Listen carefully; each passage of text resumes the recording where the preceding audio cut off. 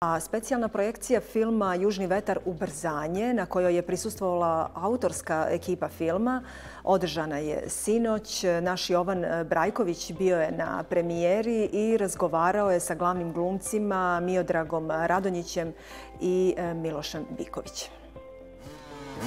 Spreman?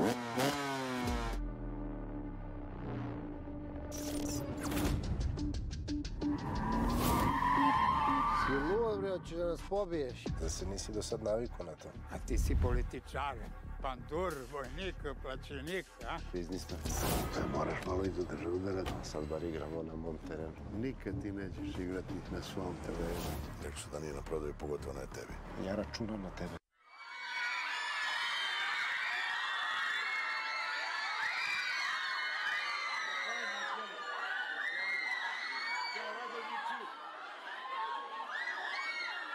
Pokušat ću da zaznam od e, mladića Radonjića. Jesi li zadovoljan onim što ste napravili? Ajmo prvo.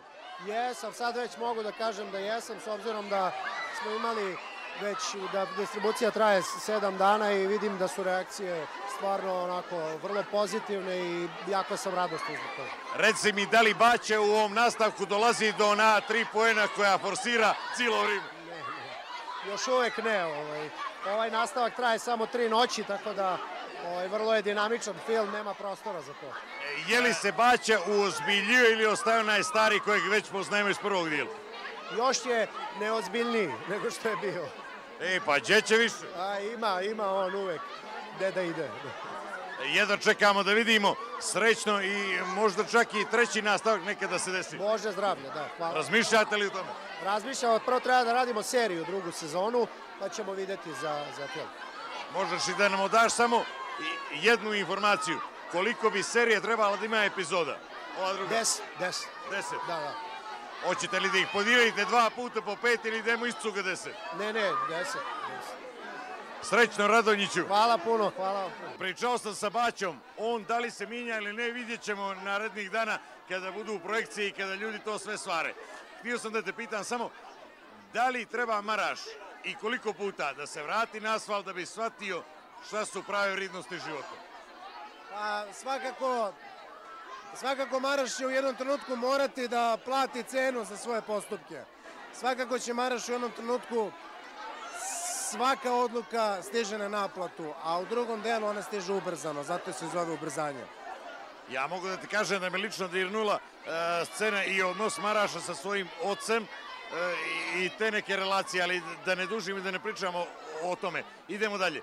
Uskaču li Crnogorci u ovom nastavku? U ovom ne, ali u nekim od sledećih će ih verovatno biti. U trećem će biti rešenje situacije?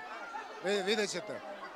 Ok, ostaje nam da vidimo to. Želim vam sreću e, da, da doživi veći uspeh nego prvi dio. Hvala vam što ste nam ovo priuštili. I, I još jedno pitanje. Tvoja poruka mladim naraštajima Crne Gore.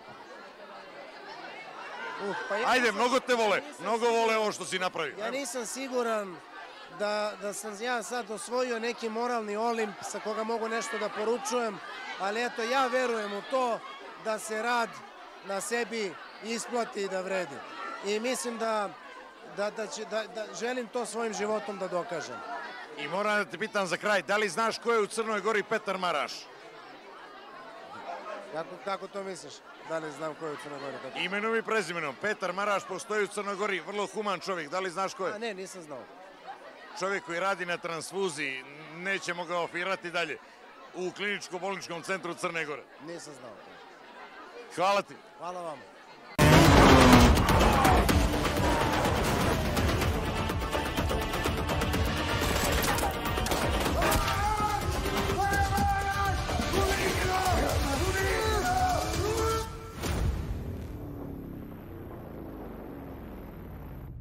Šteta što ovo neko nije snimao. Kad budem priču, niko mi neće verovati.